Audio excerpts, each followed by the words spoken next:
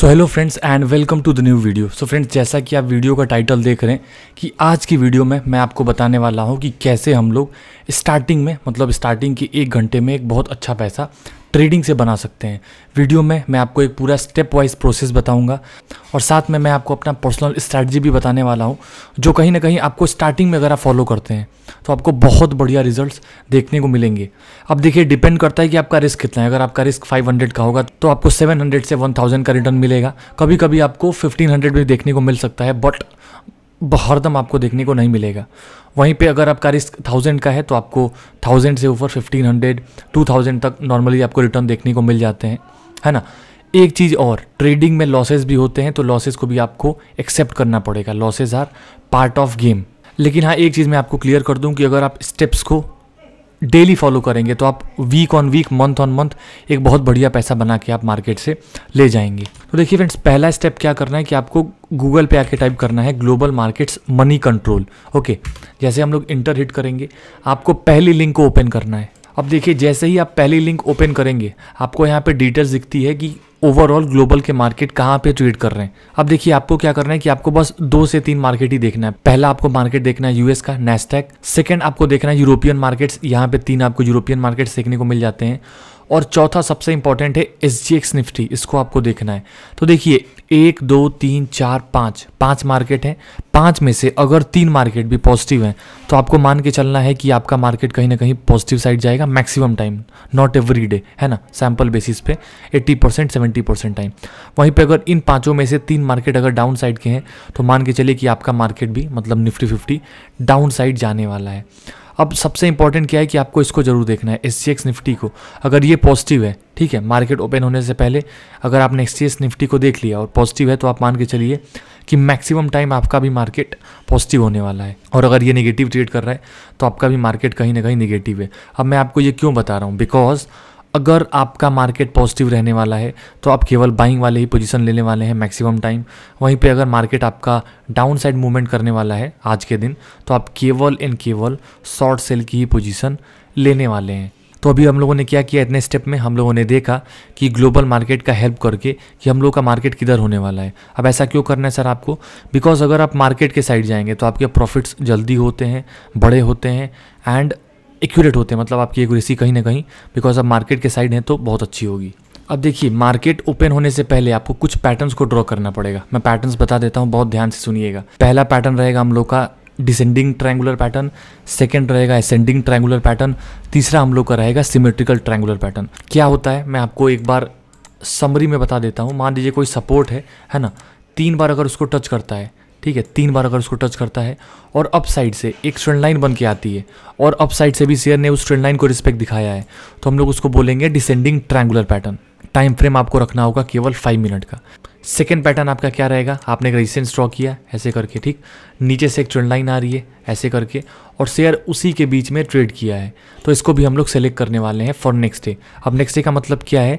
आपको market open होने से पहले ऐसे स्टॉक ढूँढने हैं फाइव मिनट के टाइम फ्रेम में मैं आपको अभी चार्ट पे दिखाऊँगा, जिनमें ascending triangular descending triangular and symmetrical triangular pattern का फॉर्मेशन हुआ हो।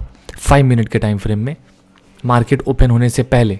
अब सिमेट्रिकल क्या होता है सर एकदम लॉजिकल है। ऐसे मैंने ड्रॉ किया अप साइड से और ऐसे एक ट्रेंड लाइन ड्रॉ की मैंने डाउन साइड से। अब इसमें एक रेंज में ट्रेड करता है और जिस साइड भी ब्रेकआउट या ब्रेकडाउन करता है, आपको बढ़िया मूवमेंट देखने को मिलती है। एक चीज़ और फ्रेंड्स अगर डिसेंडिंग ट्रैंगुलर का ब्रेकडाउन होगा तो हम लोग केवल शॉर्ट सेल करेंगे नो बाइंग सेम कंडीशन अगर हम लोग असेंडिंग ट्रैंगुलर पैटर्न को देख रहे हैं तो केवल हम लोग बाइंग का ही सोचेंगे डाउन साइड का शॉर्ट सेल आपको नहीं सोचना है। तीसरा, इसमें सिमेट्रिकल में आप बाइंग सेलिंग दोनों का सोच सकते हैं। अब देखिए, ध्यान से देखिए, यहाँ पे अगर आप देखें तो एक परफेक्ट सपोर्ट का फॉर्मेशन है। One two three and four time यहाँ पे टच कर चुका है।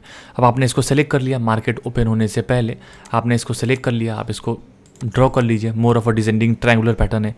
मैंने आपसे क्या बोला था, इसमें हम लोग केवल शॉर्ट सेल का सोचेंगे। अब ट्रेड कैसे लेना है? ट्रेड आपको लेना है, इस सपोर्ट का ब्रेकडाउन होगा, एक कैंडल इसके नीचे क्लोज करे। इसके लो पे आपको ट्रेड लेना है। अब अगर आप देखें तो आपका ट्रेड बना है लगभग 10-15 के करीब, है ना? यहाँ पे ट्रेड बना है। स्विंग हाई पे आपने स्टॉप लॉस लगाया और देखिए कितनी बढ़िया मूवमेंट आपको देखने को मिली है। अब एक चीज़ आपको ध्यान देनी है। यहाँ पे इस दिन आपका मार्केट ऑब्वियसली निगेटिव होना चाहिए। अगर पॉजिटिव होगा पॉजिटिव का मतलब होता है at least point three percent से मार्केट निफ्टी फिफ्टी पॉजिटिव हो। आपको वहाँ पे साइड में दिख जाएगा। अगर इससे कम होगा तो भी आप शॉर्ट सेल कर सकते हो बिकॉज़ वो फिर रेंज बाउंड मूवमेंट होती है। बट अगर पॉजिटिव है पॉइंट थ्री परसेंट से ऊपर तो आप शॉर्ट सेल के ट्रेड नहीं लेने वाले हो। सेम कंडीशन अगर आपका ट्रेड पॉजिटिव साइड बनता है बाइंग साइड का बनता है बट अगर market minus point three percent से ज़्यादा नीचे है तो आपको उस ट्रेड को सिंपली छोड़ देना है। अब अगर आप यहाँ पे देखें तो आपका यहाँ पे ट्रेड बना। और स्विंग हाई पे आपने स्टॉप लॉस लगाया। और देखिए कितना बढ़िया टारगेट आपको देखने को मिला है। टारगेट आपको क्या रखना होगा? टारगेट आपको रखना है one is to one point five पहला टारगेट और वन इस टू टू दूसरा टारगेट मान लीजिए अगर आपने हंड्रेड क्वांटिटी ली है तो क्या कीजिए आप पहली क्वांटिटी जल्दी निकाल दीजिए one is to one point five पे। सेकेंड क्वांटिटी आप वन इज़ टू टू पे ट्रेल कर सकते हैं। या फिर आप seventy percent one is to one point five पे निकाल लीजिए और रिमेनिंग थर्टी परसेंट की क्वांटिटी स्टॉप लॉस लगा के आप वन इज़ टू टू के लिए जा सकते हो। देखिए फ्रेंड्स पैटर्न कितना अच्छे तरीके से काम कर सकते हैं। आप बस चार्ट पे फोकस करना है आपको। ये देखिए परफेक्ट असेंडिंग ट्रायंगुलर बना। यहाँ पे शेयर गैप अप हुआ है तो क्या आप तुरंत बाइंग करेंगे? जी नहीं। स्विंग हाई का वेट कीजिए। स्विंग हाई बना, फिर शेयर यहाँ पे स्विंग हाई बना ना, फिर शेयर एक रेंज में ट्रेड कर रहा है। एक, दो, तीन, चार, पाँच। पच्चीस मिनट, तीस मिनट किया है। हमें कितना मिनिमम चाहिए होता है? दस मिनट रुका रहे दस मिनट यहाँ रुका रहा। वैसे हम लोग का यहाँ पच्चीस से तीस मिनट रुका है। यहाँ पे ब्रेक किया। यहाँ पे आपने स्टॉपलस लगाया। स्विंग हाई मतलब आज के हाई पे आपको बाइंग करनी है। देखिए कितनी बढ़िया मूवमेंट आपको यहाँ पे देखने को मिली है। अब अगर मैं आपको रिस्ट रिवॉर्ड दिखाऊँ तो यहाँ पर भी आपको रिस्ट रिवॉर्ड लगभग 2.5 तक गया है मतलब वन इज़ टू टू गया है। अगर आपका रिस्क थाउज़ेंड का है तो ढाई हज़ार रुपये का आपका टारगेट दिख रहा होता तो ये चीज़ आपको ध्यान देनी है कि प्रॉफिट बुकिंग करते रहना है, क्योंकि अच्छे खासे टाइम में गया है। उससे हमें मतलब नहीं होना चाहिए। यहाँ पे अगर आप देखें तो यहाँ पे भी एक परफेक्ट असेंडिंग ट्रायंगुलर पैटर्न का फॉर्मेशन हो। शेयर नॉर्मल ओपन होता है, ठीक है गैप ऑफ़ ओपनिंग इसको नहीं बोलते नॉर्मल छोटा मोटा गैप ट्रायंगुलर पैटर्न के अंदर है तो उसको हम लोग नॉर्मल मानेंगे। पहली कैंडल बनने दीजिए। मैंने बोला है कि क्लोजिंग अबाउट ट्रेंड लाइन बहुत ज़रूरी है। रेजिस्टेंस के ऊपर क्लोजिंग बहुत ज़रूरी है। यहाँ पे क्लोज हो गया। इसके हाई पे बाइंग करते हैं। यहाँ पे स्विंग लो पे स्टॉप लॉस लगाते देखिए कितनी बढ़िया मूवमेंट आपको 10-15 मिनट के अंदर ही टारगेट आपका अचीव हो गया स्टार्टिंग एक घंटे के अंदर। बस पीसी बंद कर दीजिए आप। अब देखिए सबसे बड़ा आर्ट आता है कि आप इस ट्रायंगुलर पैटर्न्स को सही से ड्रॉ कर सके। इसमें थोड़ा सा टाइम लगेगा। तो ऑब्वियसली आपको थोड़ा सा टाइम चार्ट पे स्पेंड करना पड़ेगा। अब यहाँ पे अगर आप देखें तो परफेक्ट सिमेट्रिकल ट्रायंगुलर पैटर्न का फॉर्मेशन है। शेयर गैप डाउन हुआ then we have to wait for swing low यहाँ पे स्विंग लो बना शेयर ऊपर गया। अब आपने क्या करना है?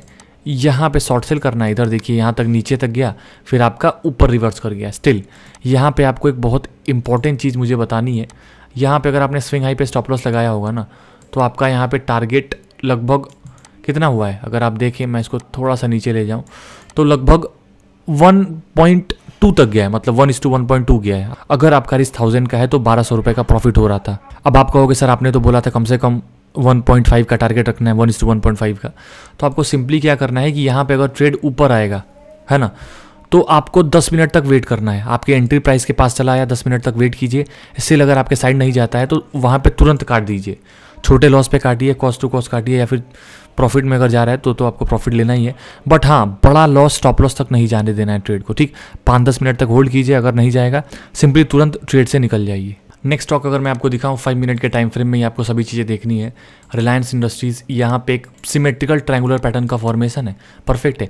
मैक्सिमम आप दो से, दो दिन मिनिमम रखिएगा। एक दिन के अंदर अगर पैटर्न्स बनते हैं तो उसको इग्नोर कीजिए।